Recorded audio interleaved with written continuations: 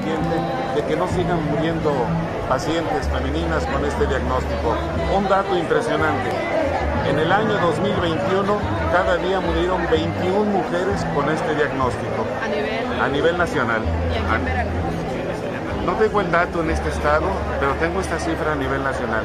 Esto nos hace generar campañas de detección, enseñanza a las mujeres para el autocuidado, la exploración a partir de los 20 años de edad y cualquier anormalidad en sus glándulas mamarias sea motivo de una valoración por el área médica para proceder a hacer de entrada un ultrasonido o como seguimiento una mastografía como las que se están realizando en este evento, pero que permanentemente las tenemos a disposición en las ferias de la salud y en los hospitales que tienen este equipo de mastógrafos. ¿Veracruz en qué posición se encuentra en el, en el país con relación al cáncer de mama? Veracruz.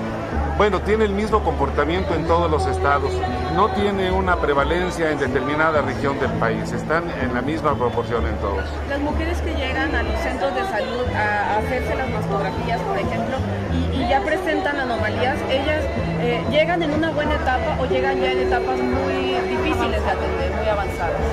Lamentablemente llegan mujeres que no se detectaron a tiempo estas nodulaciones, estas tumoraciones o secreciones a través del pezón y entonces en la medida que hay más alteraciones el pronóstico lamentablemente disminuye las probabilidades de sobrevivir eh, como lo están haciendo las mujeres a las que se les detecta tempranamente. Eh, un buen número de mujeres, gracias a la información, toma conciencia y cualquier alteración están reportando en las unidades médicas con su, con su médico tratante. ¿Y qué les dicen ellas? ¿Por qué no se revisaron antes? O sea, no tienen la costumbre de, les da pena, ¿qué, qué, por qué es?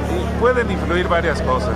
Eh, un poquito el pudor, cuestiones culturales, cuestiones religiosas, pero sobre todo a veces la falta de información. Por eso estas campañas, por eso la promoción en los medios, para que la mujer abra, abra su interés hacia este tipo de actividades de detección. Oiga, ¿y las mujeres en las zonas rurales o en las zonas indígenas son las que tienen mayor incidencia en este sentido? Tal vez estén enfermando en la misma proporción, pero no lo están detectando tempranamente, por lo que repito, falta de información. Y en las zonas rurales luego también es la cuestión machista, ¿no? Los hombres. También, también Factores tiene de que- riesgo continúan siendo Sí. el sedentarismo. Un factor de riesgo perfectamente identificado es el sobrepeso, la obesidad, la falta de ejercicio, el consumo de tabaco.